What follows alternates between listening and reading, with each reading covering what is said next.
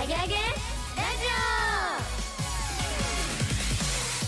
オ皆さんせーのこんばんは時刻は午後7時を回りましたベリーメリーのアゲアゲラジオ私たちベリーメリーが名古屋クリアーズさんに代わってミッド FM 新栄スカイスタジオから楽しく元気にワイワイと30分生放送でお届けしていきます今日は私ベリーメリーのカレンと上田真也と長井ゆいでお送りしていきますイエーイ始まりました。ベリーメリーのあげラジ。この番組は YouTube ライブ配信でも生配信しています。こんばんはこんばんは。今日もよろしくお願いします。はい。皆さん今週は何かありましたか？あね先週さ、うん。あのあの恵方巻きの話してたじゃん、うんうんうん。で家帰ってから、うんちゃんと南南東を向いてん。黙って食べたよ、本当？えらいおいしそうそうちゃんと守ったんだってあえなた。ら最後まで食べれた？食べれた。おえらい。なんかめっちゃ喋りかけられてたけどうんうん。もうずっとシーってポーズしてそう。頑張って食べた。これ完全にさいつもと違う方向向いてさ、うん。一生懸命真顔で食べてんのにさ、バーバがすごい「カレンちゃん。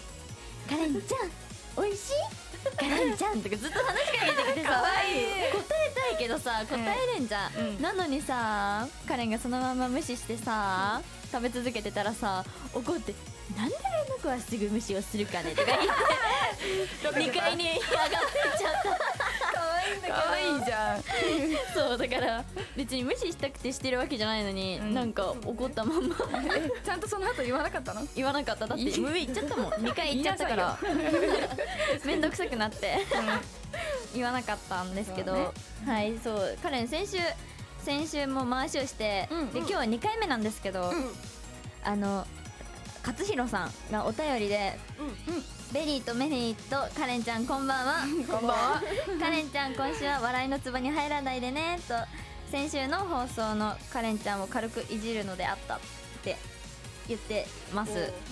で私は結構楽しくてカレンちゃんカレンちゃん進行会はよって気持ちです。今日来ましたね。今日来ました。まやっと。やっとじゃないけど。今日はちゃんと笑いのツボに入らないように気をつけます、頑張って。はい。はい。はい。ということで？ということでこの番組は生放送なのでリスナーの皆さんからのメッセージもどんどん読んでいきたいと思っています。はい。今日のメッセージテーマはバレンタインの思い出です。メールは mid-fm.web.co.jp までお送りくださいまたミッド FM ホームページのメッセージリクエストのページからもお送りいただきます。そしてツイッターは「ハッシュタグカタカナ」でベリベリ761でツイートしてください。皆さんからのメッセージお待ちしてます。それでは今日のオープニングナンバーはこの曲からスタート。この曲は好きな人に会いたい会いたいという気持ちが止まらないというすごく可愛らしいこのバレンタインの時期にぴったりな曲です。それではベニーメリーで「会いたいリクエット」会えない時はもっと会いたい。会えない時はもっと愛しくて会いたい会えない涙が溢れる。こんな気持ち初めてリ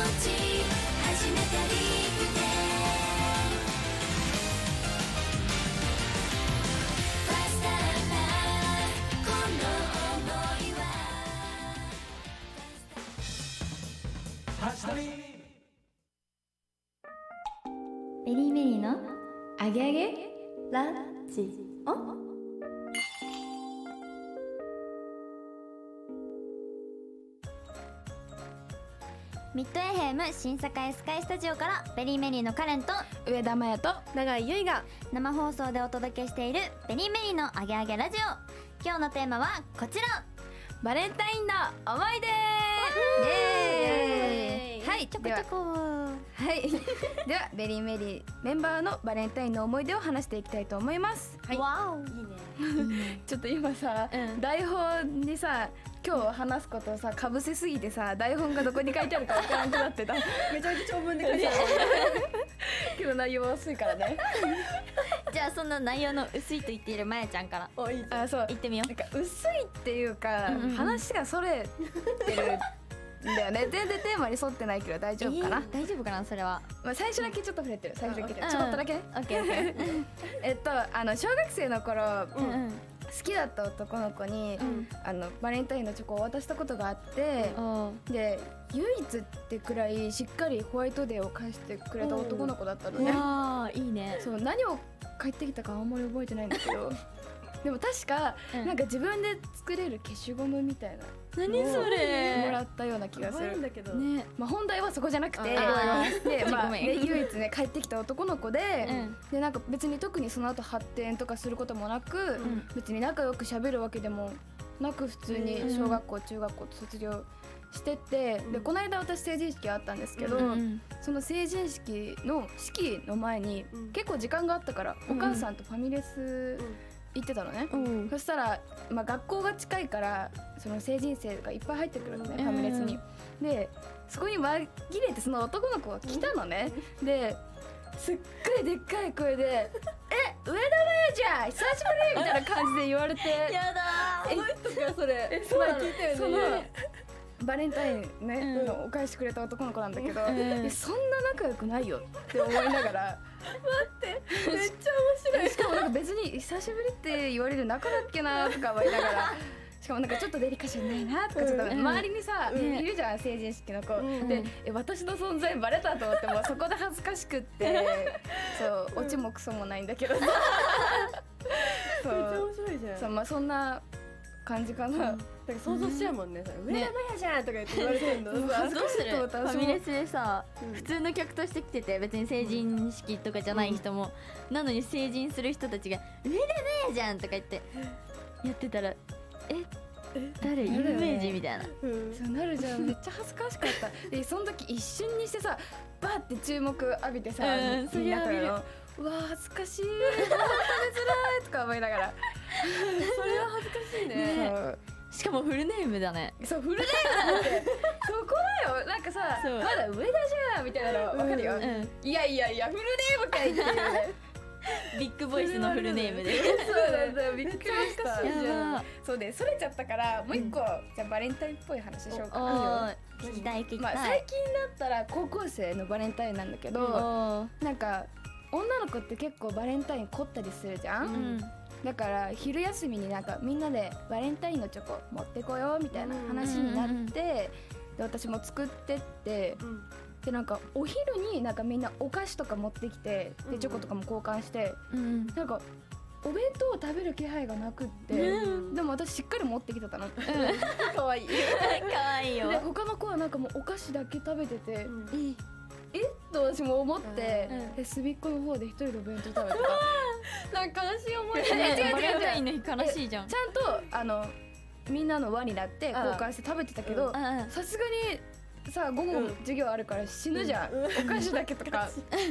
大体私2時間目くらいからお腹すくからさ。しっかり食べときたいから、うん。うん。あでも食べてる子もいた。なんか少量持ってきて。あね。そうでもその子とまあちょっとチョロチョロって食べながあらお菓子もチョロチョロっと食べながらっていう。そうだね。なんか今今時の高校生ってさうん。なんかもうお昼お菓子パーティーにしたりとかさ。なんだよね。するから。びっくりなんだよね、うん。考えられない、えー。そういうのすごいなって思う。えー。偉いじゃんちゃんとお弁当持ってきて。でも弁当持ってきてる人の方が少ないよ、あ逆に？うん、なんで？え何持ってきてるの？みんなコンビニに買いに行ったり。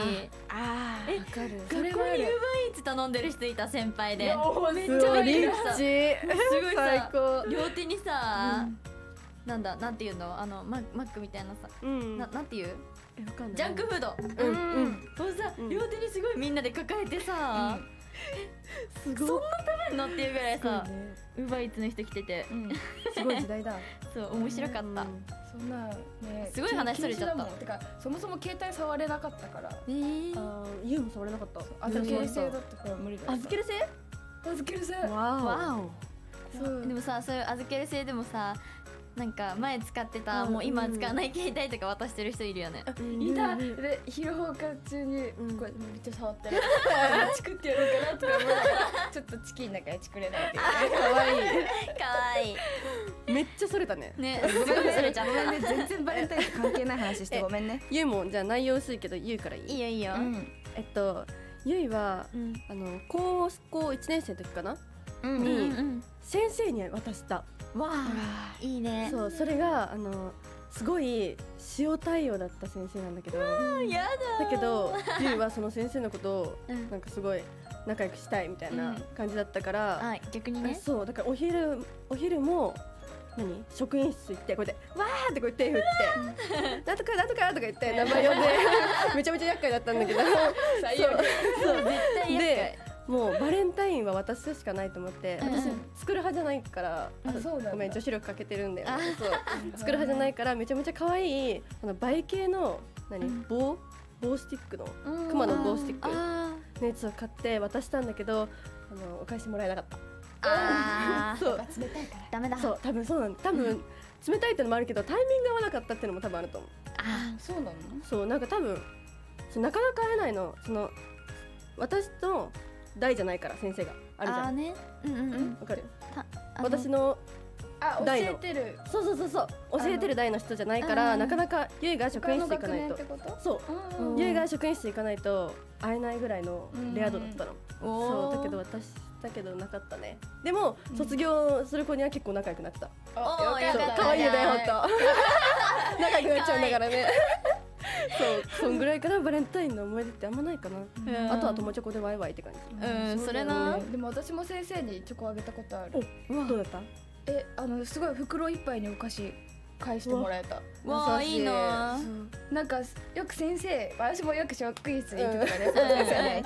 でなんかあるじゃん先生のさ引き出しみたいになるじゃんあるある。開けてんの見てうわめっちゃお菓子入ってんじゃんと思って。もらえるのめっちゃ期待してた。かわい。い。かわい。い。い。い。な欲しかったいいね。そうだね。えそう彼も今日帰る時担任の先生に「なんとかちゃんバイバイ」とか言って。もう友達じゃん。そう友達感こんな時間までいるのって。ちょっと怒られたかわいい。じゃあそんなカレンちゃんは？うん。えー彼毎年バレンタインはうん。手作りなんだよチョコ。いいね。そう。だからでもうん。人にあげるってなった瞬間に失敗しちゃうの。いつもあ自分これ食べたいクッキー食べたい、うん。でなんかシフォンケーキみたいなの食べたいとか思って作ると成功するのに、うん。よし明日は人にあげるぞみたいな考えたらうん。失敗しちゃってでうん昨日も夜中作ってたんだけど、明日渡すぞってなったら、失敗しちゃってうん。そう。そうなんだ。そうバレンタインにの日14日に一番近くでみんなに会えるのが今日が最後だったから、うんそうなんだ。そう。他の学年とかも合わせて、うん。そうだから昨日頑張って作ったんだけど中焼けてなかった。わお。チョもコ？えもしかしてそのままあげたりしてないよね？そのままあげちゃってお腹壊してたりして。いや大丈夫彼。大丈夫。あのー、1個1かけらみたいな。うん1個ちゃんとね毒味した味見した。毒味作ったのに。でも美味しかったからもう成功ってことでいいやと思ってうん。作り直す時間もなかったしそのままあげたら美味しいって言ってくれた。あみんな。よかったじゃんよかったねいいね。そう今日交換してきたのみんな。楽しかった。いいね。えそうしかも彼、うん。バレンタインって男の子にあげるって感じするじゃん、うん。でもあげたことないから。あそうなんだ。そうそう。みんな友達あと友達じゃない。みんな。友達。友チョコワイワイみたいな感じ。うん。そう。友チョコもね。てかさそっちのがよくない？普通にうん。すぐお返しもらえるじゃん。ホワイトデーとかに。ね。待たなくていい。わかる。お返しに。それはめっちゃわかる。だから皆さんもね早くあーじゃあじゃあ早くとかじゃなくて。あの好きな人から本命チョコとかもらえたらいいですね。そうですね。はい。以上バレンタインの思い出でしたそれではここで1曲お聴きいただきましょう。この曲は私たちは披露したことはないんですが大人セクシーな曲で曲中にセリフを言うところも見どころです。それではベリーメリーで僕らに愛をください。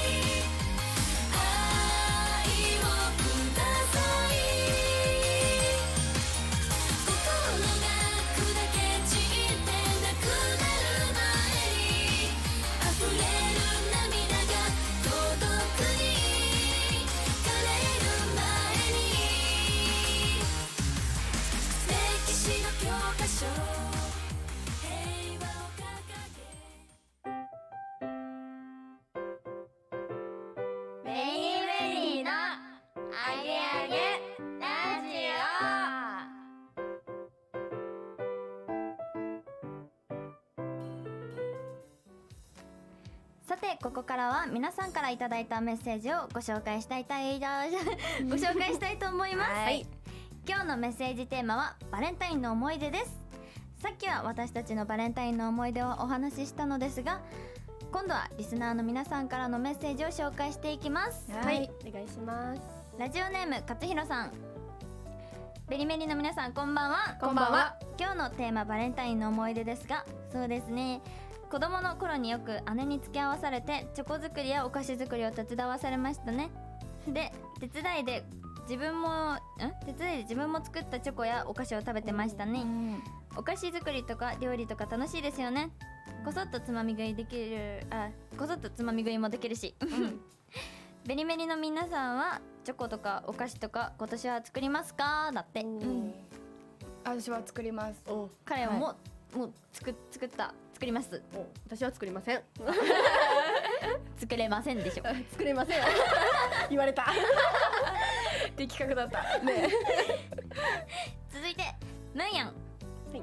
まやちゃんゆういちかれんちゃんこんばんは。こんばんは。今日のテーマはバレンタインの思い出ですね。はい寂しい思い出しかないので 書きません。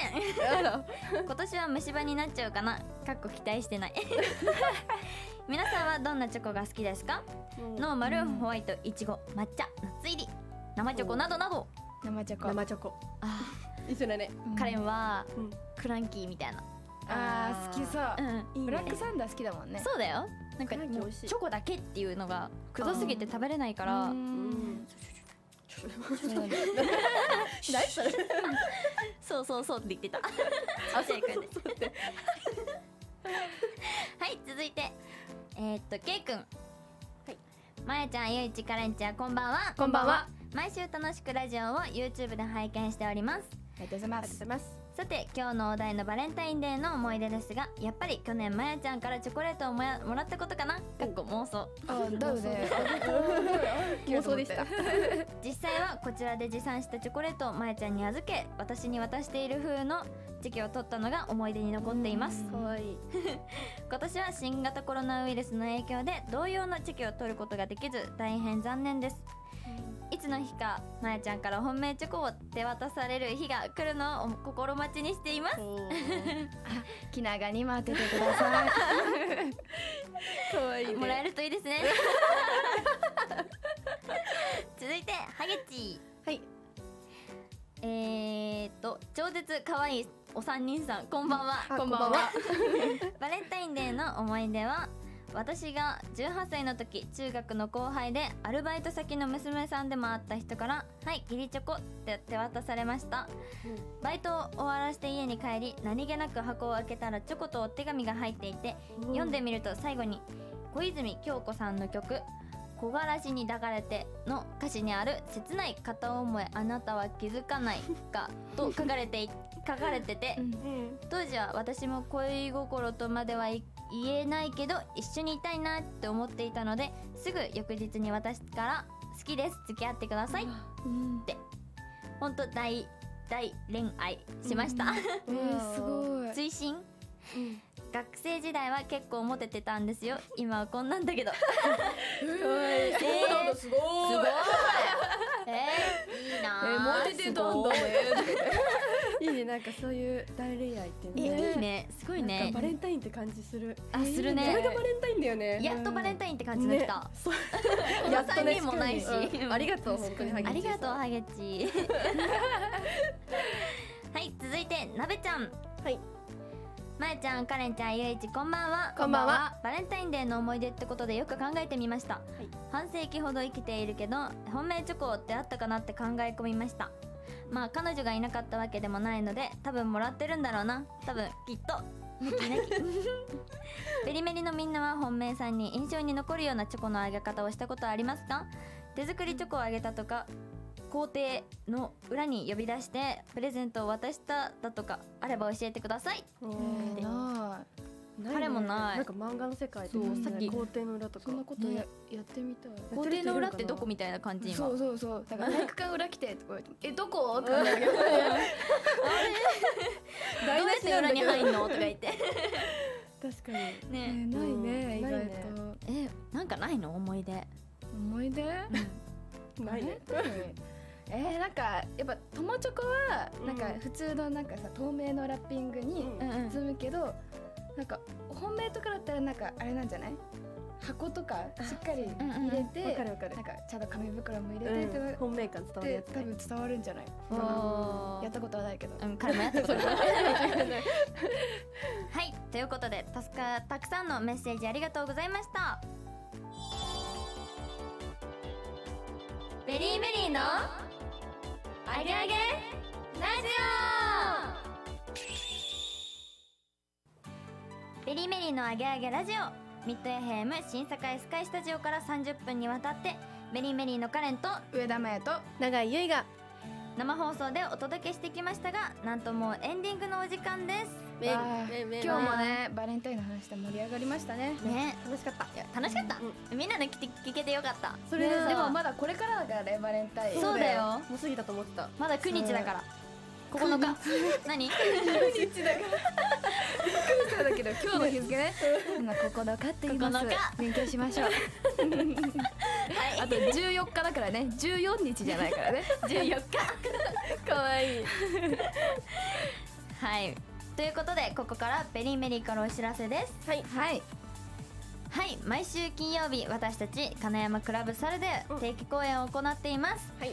普段とは違うあのー服装とか衣装じゃない服でやったりしたりするので、ぜひ皆さん今週も私服でということで、私服でライブするのでぜひ皆さん来てください、そしてあともう一つ土曜日に志願遠征に私たち行かせていただきます。初めて。初めての志願遠征ですので、はい。皆さんぜひ一緒に遠征していただけたら嬉しいです。はい。はい、ベリメリの活動についてはホームページや公式ツイッターなどを確認してください。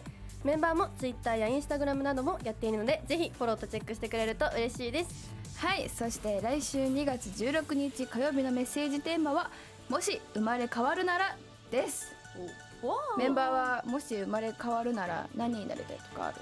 えー、犬になりたい、すごい可愛がってくれる飼い主のところって。まだ言っちゃダメだよほら 来週のテーマだからね。来週になったら変わってるかもしれないじゃん、そうだね。今パッて思いついたのを言っただけだから。そう確かにね。うん。はいそれではこの後もミッド FM でお楽しみください。ここまでのお相手はベリーメリーのカレンと上田真也と長井優衣でしたまた来週この時間にお会いしましょう。YouTube ライブ配信を見てくれた人もありがとうございます。ありがとうございます。イエイ。最後はこの曲でお別れです。この曲は君に会いたいという気持ちがたくさん詰まった曲になっていてライブでは日替わりで会いたいと叫ぶところが見どころです。では聴いてください。ベリーメリーで君に会いたくてたく